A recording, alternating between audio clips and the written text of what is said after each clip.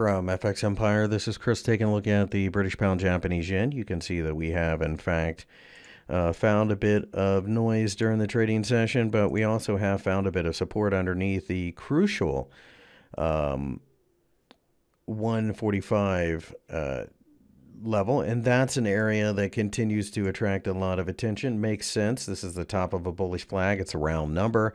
We had a hammer from the previous session. We have the 50 and the one uh, 200 day exponential moving averages. So I do anticipate that we'll probably reach higher. 144 continues to be supportive. A lot of resistance above at 150. Got a lot of work to do to break above it. But if we can finally break above this 150 level, it's likely that we will continue to see an opportunity to reach towards 155, which is what the bullish flag suggests.